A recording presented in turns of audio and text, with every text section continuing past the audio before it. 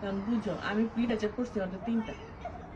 এখন পর্যন্ত আমি ইউজফুল পাইনি আমাকে আরও করতে হবে। বইটা তারপর তুমি, তোমাকে বাইর করতে হবে যে এই- এইটা ইউজফুল এই মুভিটার জন্য, এই ক্যারেক্টারটার জন্য।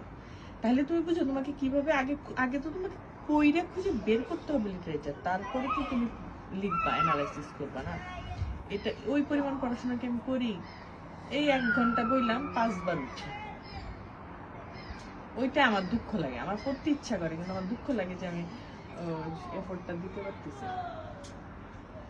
সংসার করে তোমার জীবন সব শেষ, তার মানে জানি না কি করব বলো ভাই? আমি সংসার করে গোল্ড মেডেল পায় বাচ্চা সংসার করে। আমি আমি বাবারে আমার মনে হয় তাদের অনেক এনার্জি আমার মনে হয় তারা রাতে ঘুমায় না। রাত্রে দিন বানায় দিন রাত।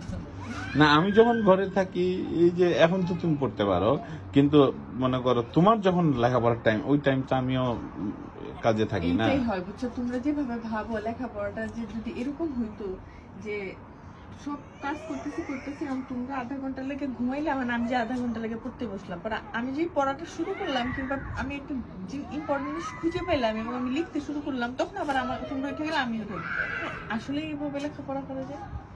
যারা করতে পারে তাদের অনেক আমি বলব তারা খুব ব্রিলিয়ান্ট আমি তো ব্রিলিয়ান্ট স্টুডেন্ট আমি তো সারা জীবনই বি গ্রেড সি গ্রেড। এইটা কি আপলোড দিবা? Oh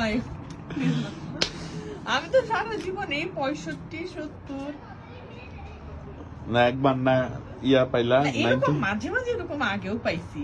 আচ্ছা। মাঝে মাঝে এরকম পাওয়া যায় খুব ইন্টারেস্টিং কিছু। অ্যাক্সিডেন্টাল সাকসেস না না না না এটা হচ্ছে কি ওই ওই কোর্সটা না ছিল জেন্ডার অ্যান্ড কালচারাল পার্সপেক্টিভের উপর। খুব ইন্টারেস্টিং আমি মানে খুব মজার মজার লিটারেচার ছিল।